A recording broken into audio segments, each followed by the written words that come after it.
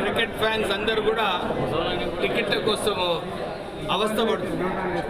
మీరందరూ చూస్తున్నారు. హైదరాబాద్ క్రికెట్ అసోసియేషన్లో మూడు సంవత్సరాల నుంచి ఈ అసోసియేషన్లో అంత గందరగోళం నడుస్తుంది. నేను అప్పుడు హైదరాబాద్ క్రికెట్ అసోసియేషన్ ప్రెసిడెంట్ ఉన్నప్పుడు కేటీఆర్ కేసీఆర్ గారు కవిత గారు వీళ్ళు హైదరాబాద్ క్రికెట్ అసోసియేషన్ని కబ్జా పెట్టుకోవాలని చెప్పి కవిత గారు చాలా ప్రయత్నాలు చేస్తున్నారు. నేను ప్రెసిడెంట్గా ఉన్నప్పుడు. వారికి ఈ రాష్ట్రంలో ముఖ్యమంత్రి పదవి మంత్రుల పదవి రాజ్యసభ సభ్యులు అన్ని రకాలుగా పదవులు వచ్చినప్పటికీ కూడా క్రికెట్ రంగంలో కూడా హైదరాబాద్ క్రికెట్ అసోసియేషన్ ప్రెసిడెంట్ కావాలని చెప్పి కవితకు చాలా ఆశ ఉంది ఆమె చాలా ప్రయత్నాలు చేసింది. అప్పుడు నా పైన కూడా చాలా ఒత్తిడి తీసుకొచ్చింది. నా మీ తర్వాత నన్ను ఎట్లనైనా హైదరాబాద్ క్రికెట్ అసోసియేషన్ ప్రెసిడెంట్ చేయాలని చెప్పి ఆమె చాలా ప్రయత్నం చేసింది. కానీ నాకు అప్పుడు ఆ రోజుల్లో అనిపించింది. ఇది ఏమవుతుంది తెలంగాణ రాష్ట్రంలో? అందరు కలిసి తెలంగాణ సాధించుకున్నారు. కేవలం కల్వకుంట్ల కుటుంబం. వారు అన్ని పోస్టులలో వాళ్ళే ఉండడము.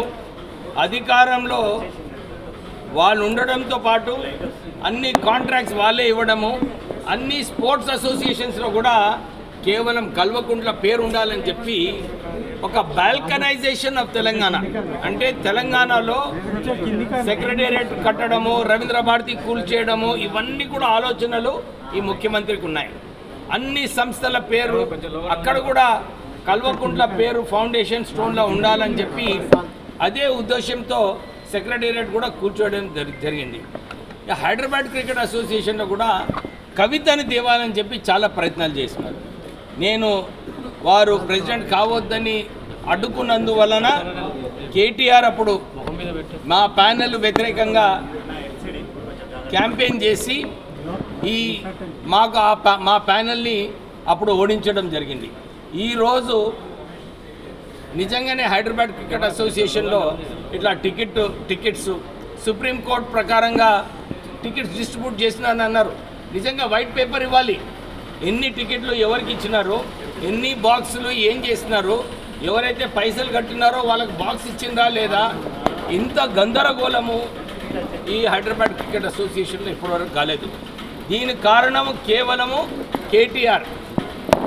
కేటీఆర్ కల్వకుంట్ల కుటుంబం. ఎందుకంటే వారికి క్రికెట్ అసోసియేషన్ మీద ధ్యాస లేదు కానీ కవితని ఎట్లా క్రికెట్ అసోసియేషన్ ప్రెసిడెంట్ చేయాలి?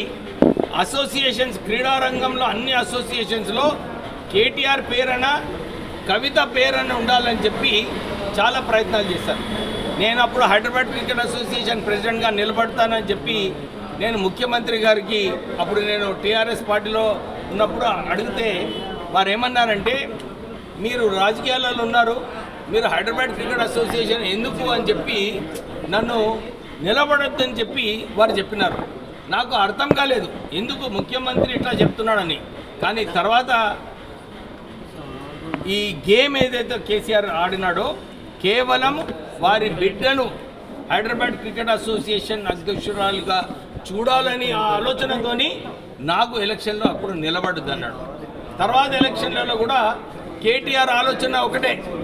ఎట్లా వారి చెల్లెను హైదరాబాద్ క్రికెట్ అసోసియేషన్ ప్రెసిడెంట్గా చేయాలని చెప్పి అప్పుడు హైదరాబాద్ క్రికెట్ అసోసియేషన్ అఫేర్స్లో జోక్యం చేసుకొని అక్కడ విపరీతమైన పైసలు ఖర్చు పెట్టి అప్పుడు ప్యానల్ని ఆయన గెలిపించుకోవడం జరిగింది.